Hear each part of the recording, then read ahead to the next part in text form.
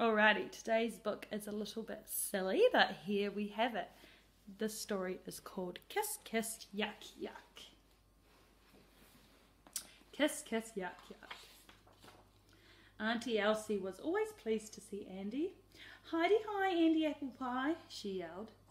Hello, Auntie Elsie, he replied, and he got ready to run.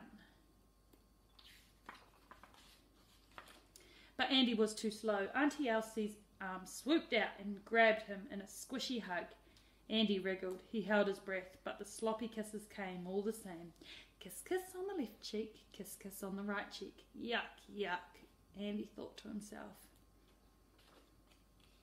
When Auntie Elsie next came to visit, Andy hid under his bed. Where's my Andy apple jelly? cried Auntie Elsie. He lay as still as a stone. Oh my, cried Auntie Elsie. Look at this toy truck driving by itself.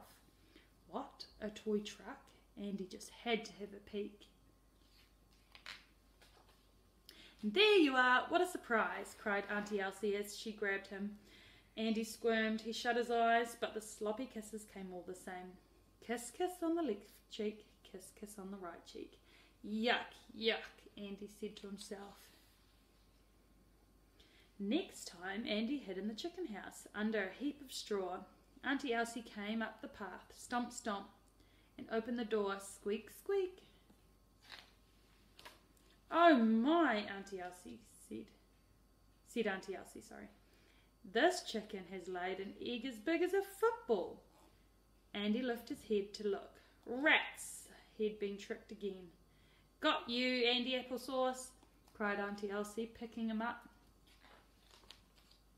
Andy grumped and grizzled, but the sloppy kisses came all the same.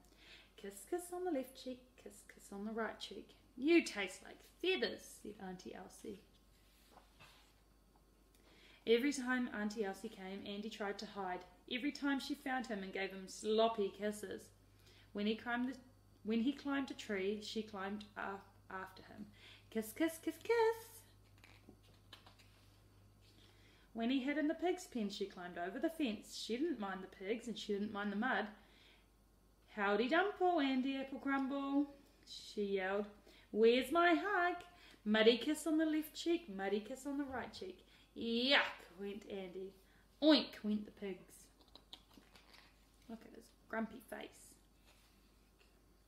Next week, Andy crawled under the house amongst the spider webs. Auntie Elsie didn't like spiders. He waited and waited all afternoon, but Auntie Elsie didn't come. Hmm. Where's Auntie Elsie? asked Andy.